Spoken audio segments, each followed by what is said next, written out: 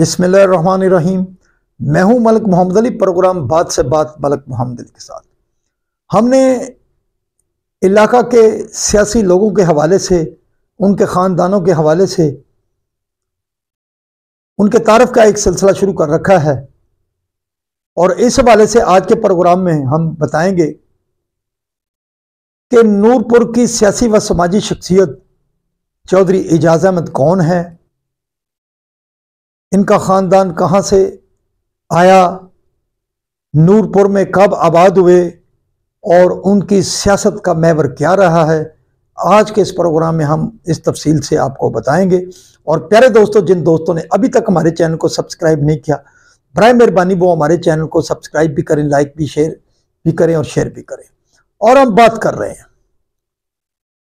نور پور کی معروف سیاسی سماجی شخصیت چودھری اعجاز احمد کون ہے؟ نور پور پاک پتن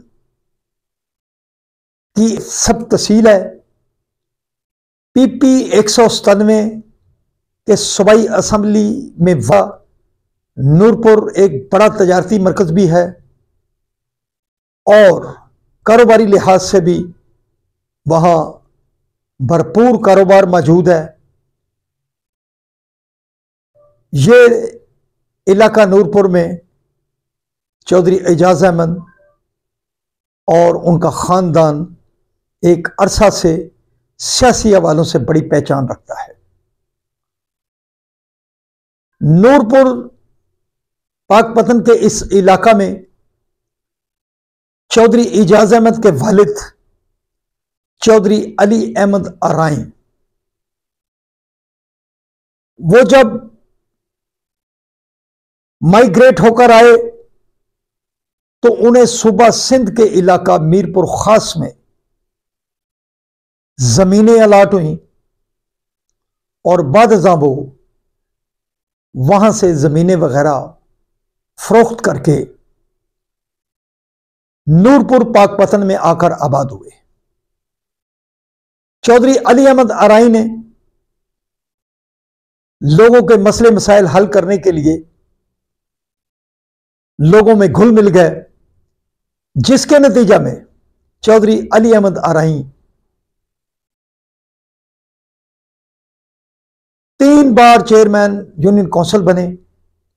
اس کے علاوہ وہ ایک مرتبہ ممبر ضلع کونسل پاک پتن بھی رہے۔ ان کی سیاست کا یہ سلسلہ چلتا رہا۔ اور پھر ان کے صاحبزادے چودھری جوید احمد مرحوم جو کہ نوجوانی میں ہی ہارٹ اٹیک کے باعث وفات پا گئے، علاقے میں بڑی منفرد میں شخصیت کے مالک تھے۔ عوامی مسائل کے حل کے لیے ہمہ وقت مصروف رہتے تھے۔ وہ یونین کونسل نورپور سے دو مرتبہ منتخب ہوئے۔ اس کے بعد جب دو ہزار پندرہ کا بلدیاتی الیکشن آیا، تو چودھری جوید احمد مرحوم کے صاحبزادے چودھری فیصل جوید آزاد حیثیت سے چیئرمین یونین کونسل نور پر منتخب ہوئے۔ لیکن چودھری اجاز احمد اس سارے سیاسی کھیل میں اپنے والد چودھری علی احمد ارائیں اپنے بھائی چودھری جوید احمد مرحوم اور اپنے بھتیجے چودھری فیصل جوید کے ساتھ بھرپور انداز میں جڑے ہوئے تھے اور وہ اپنی انداز سیاست سے اپنے خاندان کے لیے بھرپور کام کرتے رہے۔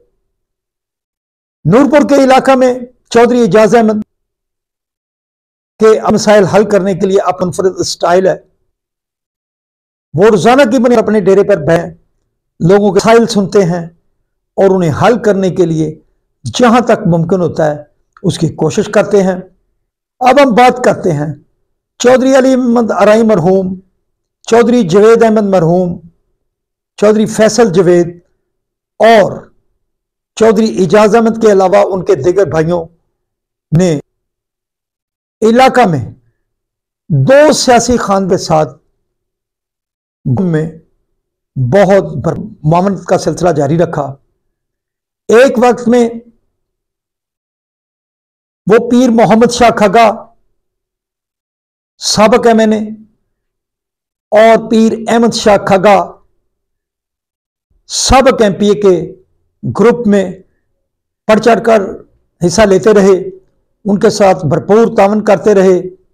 اس دوران پھر ایک مرحلہ آیا اور وہ سابق وفاقی پارلیمانی سیکرٹری دفاع سردار منصب علی ڈوگر گروپ کیمپ میں چلے گئے۔ ان کے ساتھ پھر بھرپور تامر رہا۔ چودھری علی احمد آرائی مرحوم کے فرزند چودھری جوید احمد آرائی کا لیکن دو ہزار آٹھ کے انتخابات میں جب سردار منصب علی ڈوگر حلقہ میں قومی اسمبلی کا الیکشن بھی جیتے اور صوبائی اسمبلی کا بھی الیکشن جیتے، تو اس دوران جب سردار منصب علی ڈوگر نے قومی اسمبلی کی نشست چھوڑی،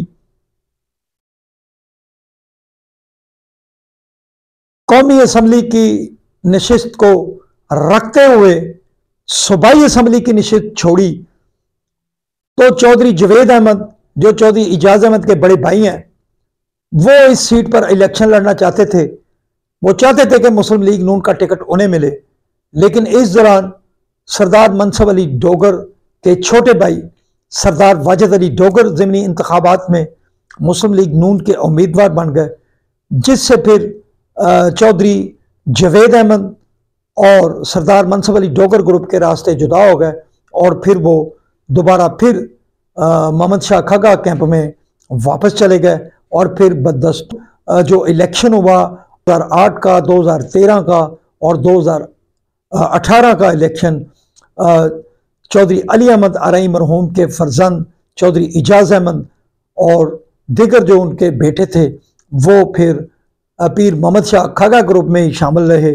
اب جب پیر محمد شاہ کھاگا گروپ سے بھی ان کا اختلاف ہوا، تو پھر انہوں نے حالیہ الیکشن میں دو ہزار چوبیس کے الیکشن میں جو تحریک انصاف کے حمایت یافتہ امیدوار تھے، راؤ عمر آشم خان قومی اسمبلی کے حلقہ این اے ایک سو انتالیس کے امیدوار تھے، ان کو سپورٹ کیا اور پھر کھگا فیملی سے ہی تعلق رکھنے والے تحریک انصاف کے حمایت یافتہ امیدوار پیر تارک یوم شاہ کھگا کی حمایت کی بلکہ ہم سمجھتے ہیں کہ نورپور یونین کونسل اور ارد گرد کے دیہاتوں میں چودھری اجاز احمد نے راؤ عمر آشم خان اور پیر تارک یوم شاہ کھگا کے حوالے سے بڑی زیادہ محنت کی، بھرپور محنت کی اور انہوں نے اس ایریا میں اپنے اس گروپ کو، اس دھڑے کو بڑی تعداد میں ووٹ دلوائے۔